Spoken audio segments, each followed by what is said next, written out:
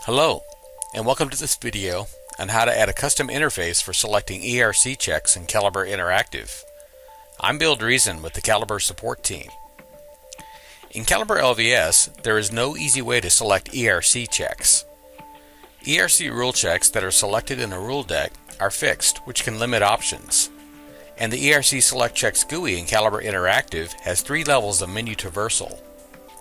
In this video, I'm going to show you how to create a customized front-end user interface to control how ERC checks are selected using a customization file in Calibre Interactive. The customization GUI can provide an easy way to quickly select the ERC rule checks needed for different LVS scenarios. I've opened Calibre Interactive and have loaded a run set for a default Calibre LVS run. Notice that there is a customization button available on the left controls.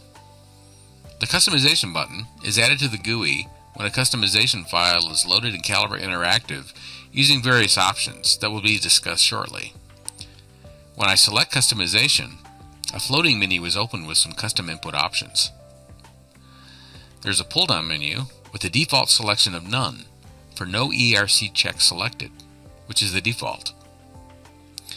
The next option opens an additional list of group checks for selection or unselection and there's also an option for selecting all ERC checks.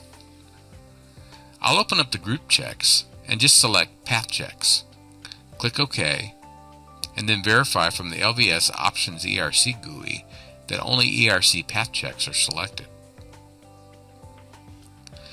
Now our own LVS. And RVE shows results for just the ERC path checks that were selected. The customization GUI is created using built-in Tcl commands, prefixed with custom colon colon. The title header and separator are added with custom label and custom separator commands. The pull-down menu is created as a master control variable with the custom variable command using the dash choices option. The choices selected from the pull-down are used to activate the following Tcl commands in a slave configuration.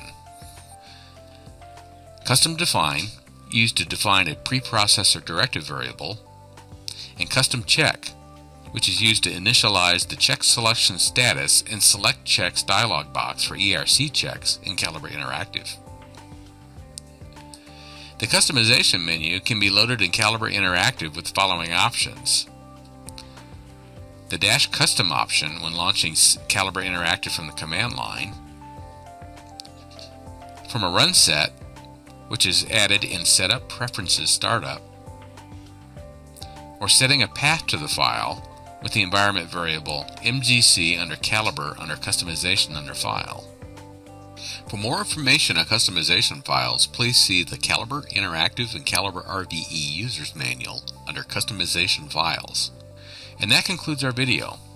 We hope that using customization files to create a GUI in Calibre Interactive will add to your productivity and efficiency when targeting specific checks or tasks for verification. Thank you for watching this video. We hope it was helpful.